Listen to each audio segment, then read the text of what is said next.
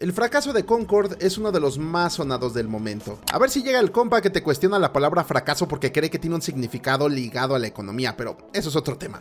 Bueno, parece que PlayStation se encuentra en una montaña rusa muy rara, porque un día cierran juegos y al otro te sueltan un Astrobot muy bueno y nos enamoramos de él. Luego te avientan una PlayStation Pro a precio de 700 dólares. Bueno, esta racha comenzó el pasado 23 de agosto cuando se lanzó Concord, un videojuego con concepto de hero shooter que buscaba entrar en el competido mercado del multiplayer en línea. En términos simples, no debía ser un problema, pues al menos desde lejos se notan los altos niveles de producción con los que contaba el título, animaciones, efectos, diseños de personaje, entre otras cosas. Era prácticamente una apuesta segura para Firewalk Studios, responsables del desarrollo, pero no se esperaban para nada toparse con pared con PlayStation ya que estos los apoyaban como a una de sus grandes exclusivas, al punto de que se incluirá un episodio basado en este juego en la serie animada de Amazon Secret Level que llegará en diciembre. Tenían mucha confianza en que este título triunfaría. Y en cierta perspectiva no los culpo. Pero entonces, ¿qué pudo salir tan mal como para que terminaran cerrando el juego dos semanas después de que inició? De entrada hay que decir que el título contó con todo el apoyo de Sony, al punto de considerarlo una megaproducción, y se nota cuando descubrimos que en cada temporada la historia iría evolucionando cada semana para expandir el lore. Una de las armas secretas de este tipo de juegos es sostener su comunidad, y esto honestamente no sonaba nada mal. Lo mencionado lo harían a través de cinemáticas que aterrizarían en forma semanal, dando contexto al mundo y a los personajes. Tampoco se puede decir que no se esforzaron en el gameplay, pues cada clase tuvo perfecta planeación para cada tipo de jugador, con un total de 16 personajes para exprimir.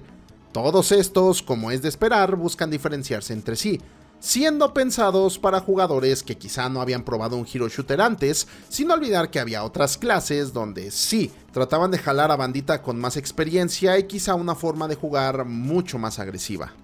Y a ver, que visualmente tampoco estaban nada mal, con un diseño retrofuturista un tanto similar a Guardianes de la Galaxia, que de entrada da un poco de lástima que no tuviera una campaña dedicada. Eso quizás habría hecho la diferencia, pero ya iremos indagando en estos detalles. Aunque existe mucha controversia con los diseños, tampoco es que fueran desastrosos. Sin embargo, tampoco es lo que el público estaba esperando precisamente. Concord desde fuera suena como una mezcla de elementos que lo dirigirían al éxito, pero algo falló en el camino y no es culpa del estudio Firewalk, donde se nota que hay developers apasionados con este título y al menos querían que funcionara, pensando mucho en aquellos que lo tendrían en su mando. La cosa es que PlayStation no tenía las mismas intenciones de hacer un juego divertido. Es curioso cómo un par de semanas después de este salió Astrobot, que tiene una filosofía totalmente distinta. El estudio estuvo trabajando en Concord cerca de 8 años, o se hace tras ver el éxito de Overwatch, no es casualidad, por lo que como hemos visto constantemente en este tipo de videos, había una necesidad por tener una tajada del pastel. Lo que parece nadie analizó, porque de lo contrario no me entra en la cabeza que se ignorara por completo todos los baches con los que se iban a topar, es que en esos 8 años la industria había cambiado por completo y sobre todo los videojuegos enfocados con multiplayer en línea. Miren, originalmente Firewalk era un estudio independiente con veteranos de Destiny, Call of Duty, entre otros, que de hecho parecían tener demasiada experiencia en este tipo de juegos. Entonces les llega PlayStation con la intención de colaborar y más tarde, en 2023 para ser precisos, deciden comprar el estudio para llevar su videojuego AAA multiplayer al siguiente nivel. Lo que nadie veía venir es que ese nivel estaba lleno de problemas más allá de sus capacidades. Y es que se nota que todos los involucrados en la planeación del lanzamiento no tenían la menor idea de lo que estaban haciendo. Y para eso tenemos que voltear a ver a la competencia directa en este momento. Volteemos a ver el caso de Marvel Rivals, mismo que de igual forma es un hero shooter, que sí, tiene elementos familiares y sobre todo una propiedad realmente valiosa y popular. Ese es un factor de entrada muy importante, pero no seguro. Miren Guardianes de la Galaxia o Avengers. Este último con factores como servicio que lo llevaron a la ruina.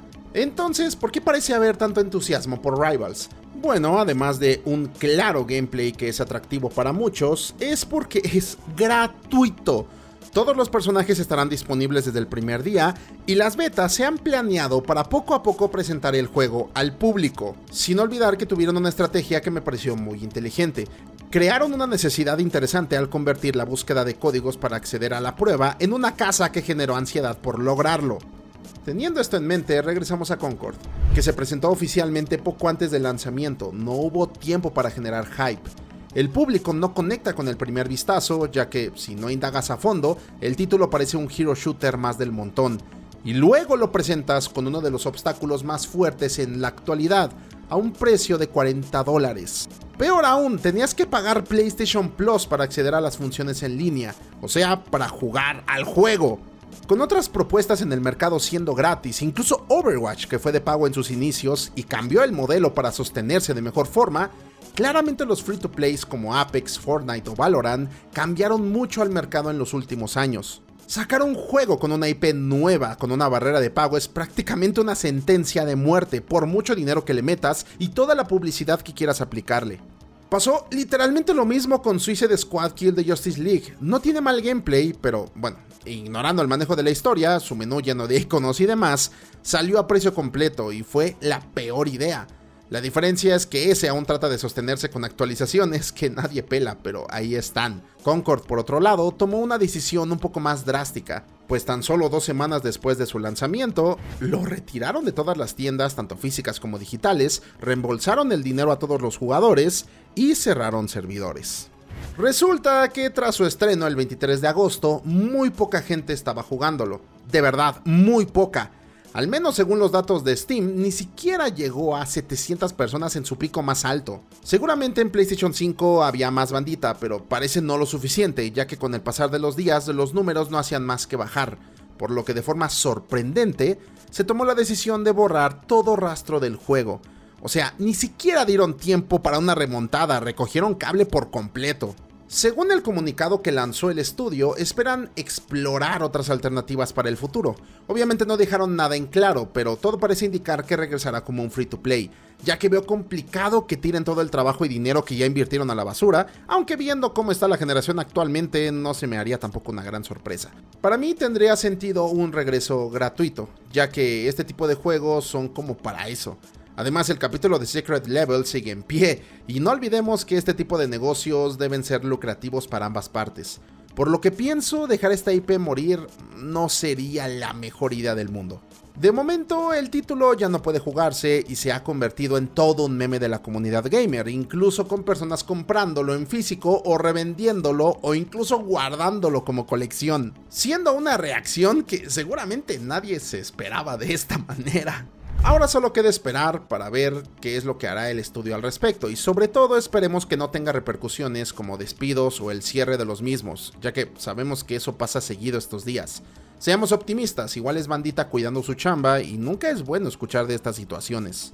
Pero cuéntame, ¿qué opinas? ¿Crees que Concord se recuperará de esta o cerraron la casa para jamás volver a abrirla?